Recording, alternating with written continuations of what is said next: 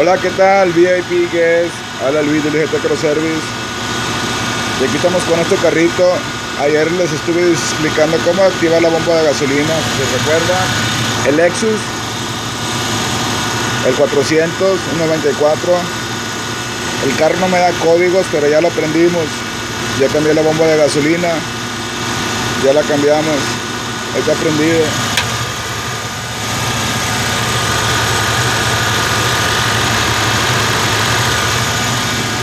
Ya lo prendimos, ya quedó. Este video más que nada, pues para que vean. Estamos trabajando en este carro, a pesar de que no me dio códigos, no por eso va a ser fácil de detectar sus problemas o sus fallas, pero ya quedó el carro ahí. Y ahora más ahorita lo estoy prendiendo, este carro ya tenía tiempo que no lo prendían desde el 2014, así que ya se han de imaginar.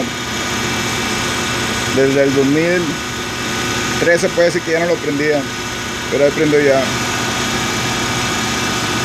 Eso que se ve de humo es porque le cayó un poquito gasolina cuando hice pruebas al ve normal. Ya quedó.